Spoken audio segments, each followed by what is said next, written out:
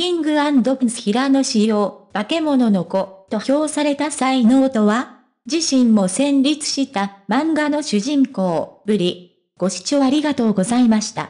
素早く最新情報をもらえるように、チャンネル登録ボタンをよろしくお願いいたします。ありがとうございます。 King & Prince の冠番組、 King & Prince る。日本テレビ系が4月2日に放送された。この日から1時間番組に拡大となり、メンバーは第2弾モテキングプンス選手権に挑戦。様々な競技を通じてポイントを稼ぎ、最もポイントが高かったメンバーがモテキングとなる企画で、第1回では平野仕様が優勝していた。今回はバスケットボールタックシュート、瓦割り、バルンラリーの3種が行われ、中でも最も盛り上がりを見せたのは瓦割り。15枚の河原のうち何枚割れたのか競う企画で優勝候補となっていたのは空手で黒帯の所持者である神宮寺勇太だ。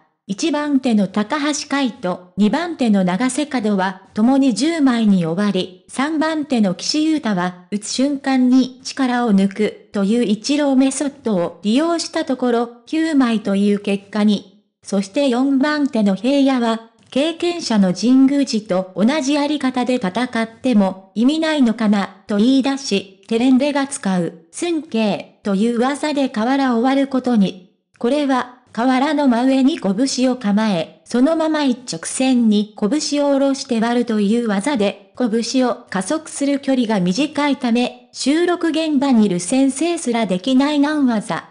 しかし、平野は見よう見真似にもかかわらず、威発で15枚の瓦割りに成功。神宮寺はあんぐりと口を開け、平野は自身の結果に、怖い、怖い、怖い、を戦慄したように逃げ惑っていた。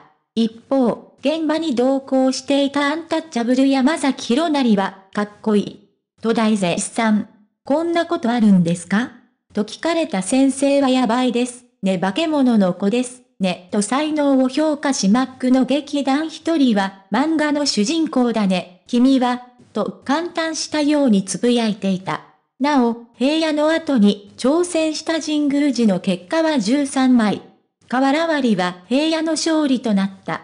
最後に平野は、経験者を差し置いてできちゃったっていうのが、楽屋で後で謝りたいな、とコメントしたが、山崎から、経験者を超えた時一番と血やいけない態度、と突っ込まれていた。